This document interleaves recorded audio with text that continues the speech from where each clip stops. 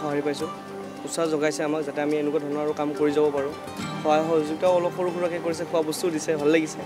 আৰু আমাৰ লগতে যাতে আৰু যিবিলাক ল'ৰা ছোৱালীয়ে আৰ্ট কৰে তেওঁলোকক মই অনুৰোধ জনাইছোঁ আমাৰ দৰেকৈ ওলাই আহক এনেকৈ ছবি আঁকক দেৱালবোৰত ৰঙিয়াখন ৰঙীন কৰক ৰঙিয়াখন নহয় গোটেই অসমখনকে ৰঙীন কৰক যাতে অসমখন এখন আৰ্ট আৰ্ট ষ্টেট হৈ পৰে। তাকে সকলোকে মই অনুৰোধ জনাওঁ যাতে ছবি কৰে মিউজিক কৰে পঢ়া শুনাও কৰে সকলো দিশৰ পৰা যাতে আমাৰ অসমখন আগবাঢ়ে তাকে মানে মিউজিক আৰু আৰ্টৰ পৰা লগত সৰুৰ পৰাই জড়িত গোটেইকেইজন। গতিকে মানে ৰঙিয়াত এতিয়া যিসমূহ মানে খালী ৱাল থাকে পুৰণি হৈছে বা কিছুমানে পোষ্টাৰ মাৰি থৈ যায় বা সেনেকৈ মানে এনে পৰি থকা ৱালবিলাকত আমি মানে যোনটো আমাৰ আৰ্ট কালচাৰ আছে সেইটো প্ৰমোশ্যন হ'ব। গতিকে আমি আৰ্ট কৰি পেলাই মানে কেনেকৈ জেগাটো অলপ সৌন্দৰ্য আনিব পাৰি। লগতে আজিকালিৰ মানে কেনেকুৱা জেনেৰেশ্যনৰ গোটেই ল'ৰা ছোৱালীবিলাকে মোবাইলতে বেছি ব্যস্ত বা ঘৰতে থাকে। আজিকালি খেলা ধূলাও বেছি নকৰে।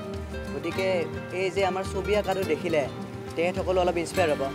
বা সৰু ল'ৰা ছোৱালীবিলাকে আমাৰ যোনবিলাক বৰেণ্য শিল্পী আমি যদি তেখেতৰ পেইণ্টিংবিলাক কৰি থৈ দিওঁ মানে জানিব বিচাৰিব যে এজন কোন হয় কি কৰিছিলে তেনেকৈ আমি এই জ্যোতিপ্ৰসাদ আগৰৱালাৰ আমি পেইণ্টিংখন বনাইছোঁ তেখেতৰ গোটেই থিমটো লৈ। তেখেতক আমাৰ অসমীয়া মানে চিনেমা যোনখন ইণ্ডাষ্ট্ৰি আছে তাৰে ফাদাৰ বুলি হেৰি কৰা যায়। তেখেতে জয়মতী ফিল্মখনৰ হেৰি আছিল ডাইৰেক্টৰ আছিল।